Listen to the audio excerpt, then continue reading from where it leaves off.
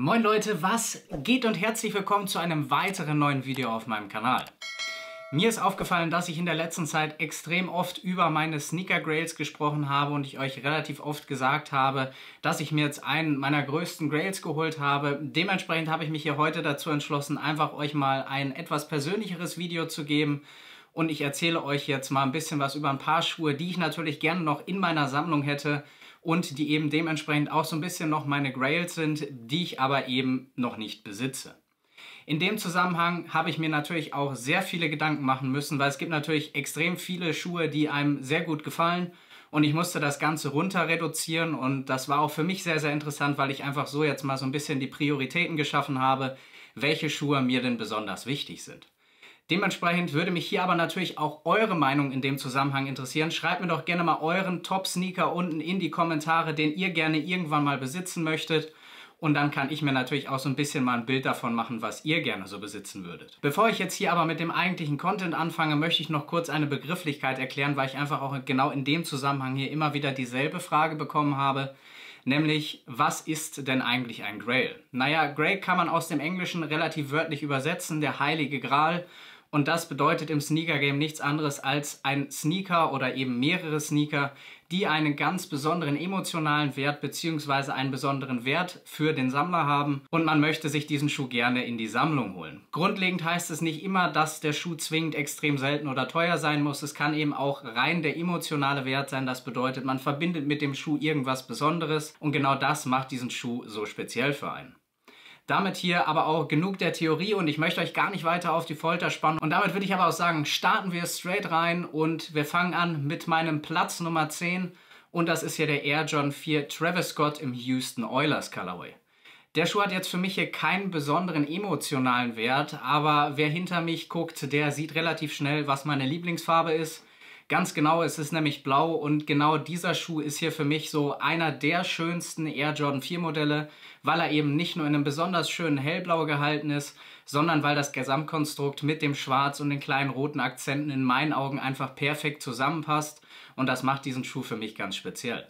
Derzeit ist er relativ teuer schon und das wird natürlich nicht besser werden und ich werde ihn wahrscheinlich auch nicht so schnell in meine Sammlung holen. Grundlegend war aber das so der erste Schuh, bei dem ich so ein bisschen in Kontakt gekommen bin mit dem Thema Travis Scott. Und ich bin hier auch der Meinung, dass das neben dem Air John One Low Travis Scott Fragment hier einer der schönsten Schuhe ist, die Travis Scott jemals rausgebracht hat. Und das Ganze liegt eben nicht nur an der Farbe. In meinen Augen ist es einfach ein super stimmiges Konzept. Der Schuh ist super schön und vielleicht kann ich diesen Schuh auch irgendwann mal in meine Sammlung integrieren. Ich würde mich auf jeden Fall freuen. Müssen wir aber natürlich abwarten, denn da kommen natürlich auch noch andere Schuhe in dem Ranking jetzt und die haben natürlich Vorrang. Und mit Platz Nummer 9 kommen wir dann schon zu einem Schuh, der zumindest, wenn man den Leaks ein bisschen Glauben schenken darf, hier dieses Jahr ein Remake bzw. ein neues Design bekommen könnte. Und auf Platz 9 ist für mich hier der SB Dunk Low Heineken. Der Schuh hat hier für mich entgegen dem Travis Scott 4er einen emotionalen Wert und natürlich ist er auch noch extrem teuer und selten, was das Ganze noch verschärft. Denn für mich ist die Marke Heineken hier so ein bisschen Symbol für meine Vergangenheit. Denn ich bin früher immer nach Holland in den Urlaub gefahren und da ist Heineken ja so eine der Top-Biermarken. Und äh, damals muss ich sagen, es war immer eine schöne Zeit, es waren immer schöne zwei Wochen. Ich habe dort mit meinem besten Kumpel die letzten fünf Jahre dann immer den Urlaub verbracht. Und wir haben hier den ganzen Tag mit Skimboarding verbracht. Das ist so eine Art Surfen. Ich muss jetzt mal gucken, ob ich hier was Kleines finde, um euch das Ganze so ein bisschen erklären zu können, was es ist. Grundlegend ist es aber einfach extrem nice gewesen. Wir haben den ganzen Tag eben mit diesem Sport verbracht, haben dabei eben Heineken getrunken und am Ende des Tages, abends, haben wir dann immer ebenso den Tag noch am Strand verbracht und haben den Tag schön ausklingen lassen, haben Karten gespielt oder haben einfach nur zusammengesessen und geredet und natürlich ergo auch dabei Heineken getrunken. Und dementsprechend war das hier für mich eigentlich schon immer so ein sehr symbolischer Schuh, der für mich so ein bisschen die Jahre des Urlaubs da repräsentiert hat. Und dementsprechend freue ich mich natürlich drauf, dass vielleicht tatsächlich dieses Jahr ein Remake kommt. Rein vom Grundsatz muss ich ja sagen, dass das OG-Pair auf jeden Fall schon sehr, sehr schwer zu toppen ist in meinen Augen und auch in diese Richtung sollte es für mich vom Design her gehen. Wenn es dieses Jahr hier die Neuauflage gibt, dann würde ich mir diesen Schuh holen. Aber wie gesagt, es ist mir schon relativ wichtig, dass das Design relativ ähnlich ist, weil der SB Dunklow Heineken ist einfach für mich einer der Top-SBs, die jemals rausgekommen sind, weil einfach auch das Gesamtpaket nicht weil es eine Collab ist, sondern weil es einfach schön abgestimmt worden ist, passt. Dementsprechend hier für mich Platz Nummer 9, ein ganz besonderer Sneaker, mit dem ich hier meine Vergangenheit aufgreife und den ich hoffentlich auch irgendwann in meiner Sammlung haben werde. Gefolgt davon auf Platz Nummer 8, das ist hier ein Schuh, der auch relativ teuer ist und das ist hier tatsächlich der erste Berührungspunkt für mich gewesen mit der Air Jordan 4 Silhouette allgemein.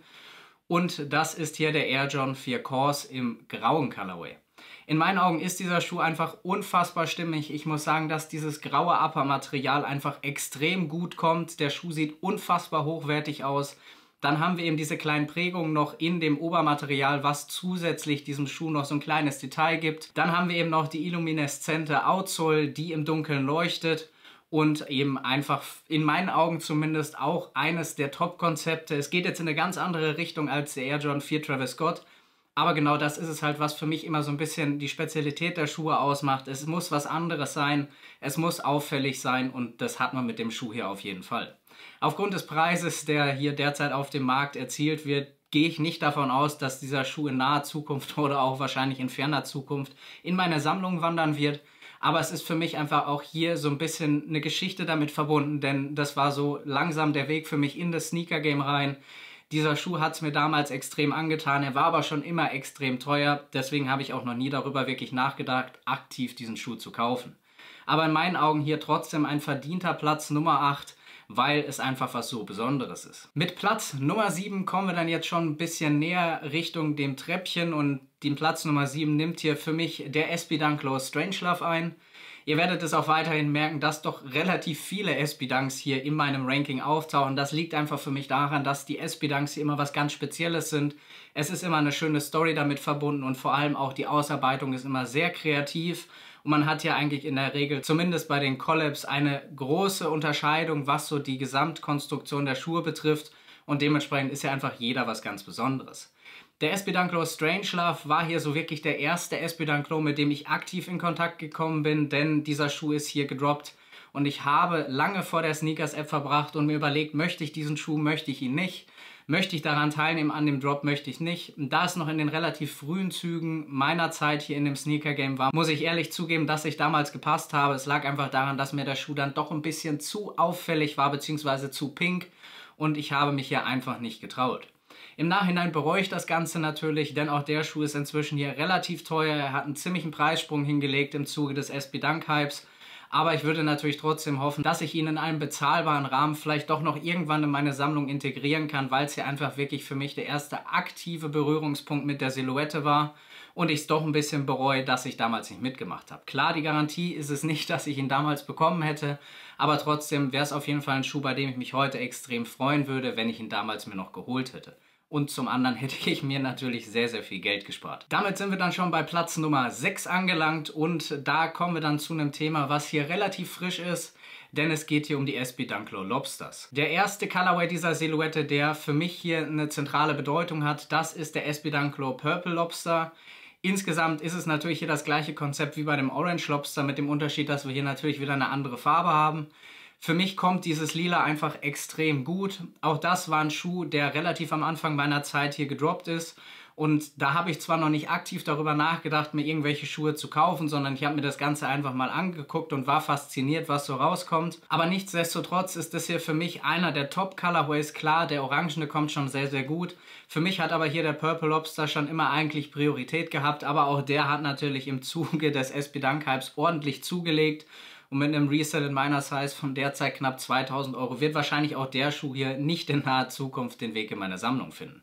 Dazu kommt leider in dem Zusammenhang auch noch, dass hier die Farben relativ zügig ausbleichen, was bedeutet, dass hier ein gebrauchtes, ein paar Mal getragenes Pair in einer relativ guten Condition für mich wahrscheinlich trotzdem nie in Frage kommen würde, weil eben genau dieser kräftige Farbton das ist, was mich an diesem Schuh so fasziniert und dementsprechend würde ich den hier gerne natürlich auch irgendwann in meiner Sammlung haben. Da der aber auch hier extrem teuer ist, ist das natürlich auch noch eine Frage der Zeit, beziehungsweise die Frage, ob dieser Schuh jemals den Weg in meine Sammlung finden wird. Damit sind wir dann schon bei Platz Nummer 5 angelangt und genau das sind hier jetzt auch die Schuhe, mit denen ich eine etwas persönlichere Verbindung habe.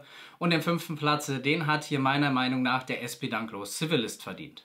Dieser Schuh ist hier mal was komplett anderes in meinen Augen, denn wir haben hier nicht mit besonderen Upper-Materialien oder besonderen Details und Stitchings gearbeitet, sondern was diesen Schuh hier ausmacht, ist die Tatsache, dass wenn das Upper-Material mit Wärme in Kontakt kommt, dass es dann hier nicht mehr so schwarz-braun ist, sondern dass darunter so eine Art Heatmap zu sehen ist. Ich finde die Idee mega krass und der Punkt, warum das für mich hier was Persönliches ist, ist, das werde ich auch nie vergessen, dass dieser Schuh hier gedroppt ist, als ich gerade meinen Wocheneinkauf bei Lidl gemacht habe und dementsprechend habe ich hier leider damals den Drop verpasst. Ich habe fünf Minuten nach dem Shockdrop hier dann in die Sneakers-App geguckt, weil ich schon davor wusste, dass er irgendwann kommen soll. Ist natürlich in dem Zusammenhang jetzt hier besonders ärgerlich, dass ich genau diesen Zeitpunkt dann verpasst habe und das natürlich, wie immer, wie hätte es auch anders sein können, die fünf Minuten waren, wo ich nicht in die Sneakers-App geguckt habe. Ich feiere den Schuh schon extrem lange. Er hat jetzt auch noch mal ein bisschen angefangen zu fallen, was ja natürlich bedeutet, er ist ein Stück günstiger geworden. Heißt, es könnte natürlich sein, dass er irgendwann hier trotzdem noch den Weg in meine Sammlung findet. Aber es ist natürlich und bleibt ärgerlich für mich und das ist auch genau das, was ich bereue, dass ich eben damals nicht die Option hatte, hier mitzumachen. Und das ist wahrscheinlich auch das, was mich so wurmt und der Grund, warum ich diesen Schuh unbedingt haben möchte. Muss man jetzt hier mal abwarten, aber aufgrund des in Anführungsstrichen humanen Preises, der hier derzeit auf dem Markt erzielt wird, wäre es natürlich denkbar, dass dieser Schuh hier in naher Zukunft irgendwann den Weg in meine Sammlung findet. Damit kommen wir dann schon zu Platz Nummer 4 und das ist hier mal wieder eine Air Jordan und in diesem Fall hier der Union im Guava Ice Colorway, nämlich der Air Jordan 4. In meinen Augen ist das hier irgendwie der schönste Air Jordan 4, den es gibt. Ich weiß, dass es da jetzt auch viele Aufschreie unter euch geben wird, weil viele Leute diesen Schuh nicht mögen. Ich muss ja aber ehrlich zugeben, genau weil er so anders aussieht wie viele andere Air Jordan 4er, weil er einfach an ein paar Punkten Kontraste gesetzt hat, wo andere Air Jordan 4 Silhouetten keine gesetzt haben. Dazu kommt dieses helle Auftreten, was ihn in meinen Augen hier einfach extrem schlicht und trotzdem gut zu kombinieren macht und er ist und bleibt trotzdem hier noch ein guter Hingucker. Dieser Schuh war hier leider Gottes der erste Punkt, wo ich so ein bisschen mit dem Thema Regional Exclusives am Anfang meiner Zeit hier in Kontakt gekommen bin, weil es sind ja zwei Colorways damals gedroppt, der schwarze und eben der Guava Ice Colorway. Den schwarzen hatte ja damals meine Freundin bekommen, der hat mir auch relativ gut gefallen, aber eben leider nicht so gut wie der Guava Ice, weswegen ich mich dann eben entschlossen habe, den schwarzen zu verkaufen. Der Guava Eis war für mich hier nie wirklich greifbar und auch das ist hier wahrscheinlich wieder so ein bisschen der Grund, warum mich genau dieser Schuh so reizt. Ich würde mich natürlich freuen, wenn ich hier irgendwann einen Schuh für einen akzeptablen Preis bekomme, sei es jetzt hier leicht getragen in einer guten Condition 8,5 bis 9,5 oder eben Deadstock. Auch der Schuh hat sich hier mal wieder ein bisschen berappelt, ist wieder ein bisschen runtergekommen. Heißt, der Schuh ist auch noch unterhalb des vierstelligen Bereichs was natürlich immer noch viel Geld ist, aber der Schuh für mich hier auch ein Must-Cop irgendwann, weil ich eben auch da hier so ein bisschen eine besondere Verbindung zu diesem Schuh habe, weil er eben für mich so lange in nicht greifbarer Entfernung war und ich irgendwann mit diesem Wunsch gerne erfüllen würde. Damit sind wir jetzt letztendlich bei meinem Treppchen angelangt und der Designer des nächsten Schuhs hier, den kennt man schon aus einem anderen Schuh in meinem Ranking, denn es handelt sich hier um den SB Dunklo Sean Cliver. Genau der Designer ist ja auch zuständig gewesen für die Strangelove Collab und das Ganze sieht man hier, finde ich, auch so ein bisschen in dem Sean Cliver SB Dunk.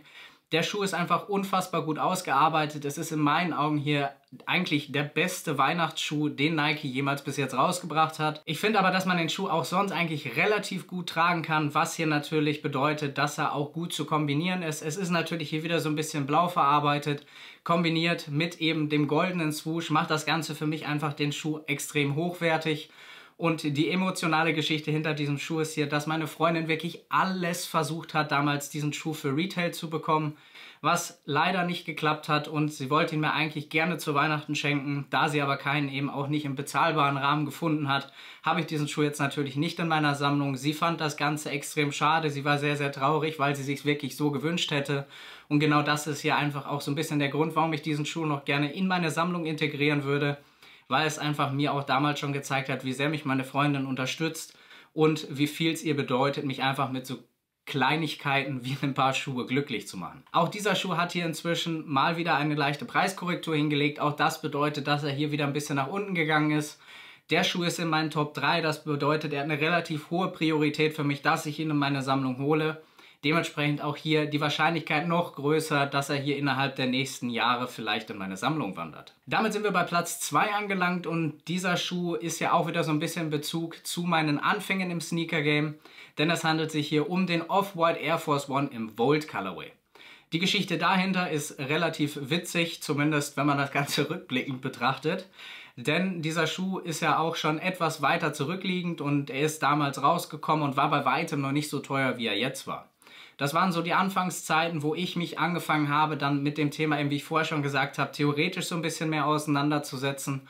Und ich stehe eigentlich auch schon immer so ein bisschen auf die ganz grellen Farben, auf eben genau diesen Volt Colorway. Es ist auffällig, es ist gelb, es leuchtet, aber für mich passt dieser Schuh einfach perfekt zusammen. Die funny Story dahinter ist einfach, dass ich damals dann eben so ein bisschen recherchiert habe. Ich bin dann auf diesen Schuh gestoßen, habe mich damit Off-White auseinandergesetzt, bin dann auf StockX gestoßen und habe dort die Preise gesehen. Ich dachte mir damals, und da hat der Schuh noch um die 350 bis 400 Euro gekostet, hey, ja, eigentlich ist der Schuh schon extrem stark. Aber mal ganz ehrlich, wer zahlt denn bitte 350 Euro für einen Schuh? Es ist was Besonderes, ich habe das auch damals schon verstanden, aber andersrum dachte ich mir, so viel Geld werde ich niemals für Schuhe ausgeben. naja, Jetzt ein paar Jahre später, glaube ich, erkennt man, dass das Ganze ein bisschen in eine andere Richtung gegangen ist. Dementsprechend ärgert es mich natürlich noch mehr, immer zu wissen, dass der Schuh, der auch so ein bisschen mehr für mich bedeutet, hier damals für mich eigentlich in einem bezahlbaren Rahmen zu erstehen gewesen wäre. Da hätte ich damals dann wahrscheinlich irgendwas um die 400 Euro gezahlt. Jetzt kostet der Schuh irgendwas um die 1000 Euro. Heißt, ich muss hier knapp 600 Euro mehr in meiner Size auf den Tisch legen, wenn ich diesen Schuh haben will. Aber genau das wurmt mich eben auch. Und es ist aber auch hier irgendwie so ein bisschen witzig, finde ich eben, weil ich damals noch nie gedacht hätte, dass ich da bin, wo ich heute bin, dass ich so viel Geld für Schuhe ausgebe. Und es ist auch wirklich viel Geld für mich. Und natürlich schon gar nicht, dass ich hier eigentlich einen eigenen YouTube-Channel habe und meine ganze Faszination und Leidenschaft mit euch teilen kann. Dementsprechend hier für mich so ein bisschen Schuh mit einem höheren emotionalen Wert, weil er einfach auch so ein bisschen für mich den Werdegang der letzten Jahre widerspiegelt, der natürlich auch sehr, sehr schön für mich ist. Und damit sind wir bei Platz Nummer 1 und ich habe mich bis jetzt gezügelt und auch allgemein, glaube ich, wissen relativ viele von euch gar nicht, was so mein Top-Grail ist, welchen Schuh ich unbedingt haben möchte. Jetzt möchte ich euch gar nicht weiter auf die Folter spannen und es ist auch der Schuh, der für mich hier oberste Priorität hat, dass ich ihn irgendwann demnächst in meine Sammlung integrieren kann. Und das ist hier der SB Dunklow Chunky Dunky in der Kollaboration mit Ben Jerry's. Meine emotionale Bindung zu diesem Schuh ist hier einerseits, weil es halt einfach wirklich was Auffälliges ist, es ist was Besonderes, aber der wirkliche emotionale Wert dahinter kommt daher, wie eben dieser Drop abgelaufen ist und dass es mich eben bis heute ein bisschen ärgert, dass ich den Schuh damals nicht bekommen habe. Sei es jetzt unverschuldet oder verschuldet, ich weiß es nicht, aber ich gewähre euch jetzt einfach mal so ein bisschen den Einblick. Der Schuh liegt ja auch schon ein bisschen weiter zurück und es war so ziemlich meiner Meinung nach zumindest einer der gehyptesten SB Dunk Low Drops. Gefühlt jeder Skate Shop hatte ihn, er war trotzdem extremst limitiert, was man natürlich auch heute noch auf dem Resell-Markt sieht. Dieser Schuh ist eben dadurch aber auch in die breite Masse gegangen. Extrem viele Leute hatten ein Interesse für den Schuh. Einerseits, weil sie Ben Jerry's kennen, andererseits, weil dieser Schuh hier eben extrem viel Profit bringen konnte. Ich habe damals mit meiner Freundin bei jedem Drop, und ich meine wirklich bei jedem Drop, den es gab, mitgemacht. Und das, was hier eben diese emotionale Bindung ausmacht, war die Tatsache, dass hier extrem viele Schuhe vergeben worden sind mit kreativen Ausarbeitungen. Das bedeutet, man musste hier irgendwie malen oder man musste was backen, was zeichnen, was basteln, um hier eben die Chance oder den Entry für dieses Raffle überhaupt zu bekommen. Und der Sieger oder die Sieger am Ende des Tages hatte dann eben die Option bekommen, den Schuh zu kaufen. Meine Freundin und ich haben hier wirklich erstens viel Zeit rein investiert, uns bei den normalen Raffles anzumelden und wir haben natürlich auch bei diesen Kreativ-Raffles hier bei allen teilgenommen. Ich muss mal gucken, vielleicht finde ich die Bilder noch, die wir damals gezeichnet haben und wir haben hier wirklich Stunden beide verbracht und selber von Hand Schuhe gezeichnet und designt, die wir in diesem Zusammenhang eben designt hätten und die das ganze Thema unter gewissen Rahmenbedingungen eben aufgegriffen haben. Und genau das ist hier eben auch der Grund, warum ich diesen Schuh unbedingt gerne in meiner Sammlung haben möchte. Er erinnert mich an diese ein, zwei Wochen, wo meine Freundin und ich wirklich Tag und Nacht an den Bildern gesessen haben, uns Mühe gegeben haben, uns die Designs ausgedacht haben, das Ganze ausgearbeitet haben und am Ende des Tages dann trotzdem leider leer ausgegangen sind. Deswegen hier für mich die Top Nummer 1 ohne Frage, ohne Diskussion. Diesen Schuh möchte ich eben unbedingt haben weil das Ganze eben für mich auch eine schöne Zeit war, weil auch da wieder so ein bisschen das Thema, meine Freundin unterstützt mich, sie teilt dieselbe Begeisterung wie ich aufgegriffen wird und deswegen möchte ich diesen Schuh haben. Natürlich würde ich den auch anziehen, trotz des hohen Wertes, eben weil für mich diese Zeit damit verbunden ist, die auch so ein bisschen sinnbildlich für die Beziehung mit meiner Freundin steht und daher für mich Platz Nummer 1 ganz verdient und ohne Diskussion und dementsprechend mein Top Grail. Ich denke, ihr hattet jetzt mal einen relativ guten Einblick, was hier noch so die Sneaker sind, die ich gerne in meine Sammlung integrieren würde. Dementsprechend für all diejenigen, die das Video eben jetzt gesehen haben, in Zukunft werdet ihr wissen, warum ich mich ganz speziell über bestimmte Schuhe freue, wenn sie in meine Sammlung kommen da ihr jetzt eben auch den Hintergrund dahinter so ein bisschen versteht. Damit sind wir dann aber auch schon wieder am Ende meines Videos angelangt. Ich hoffe natürlich, euch hat das Video gefallen. Wenn es so ist, dann lasst doch gerne wieder ein Like, ein Abo und ein Kommentar. Und wir sehen uns dann in einem meiner nächsten Videos wieder, Freunde. Bis dahin, haut rein.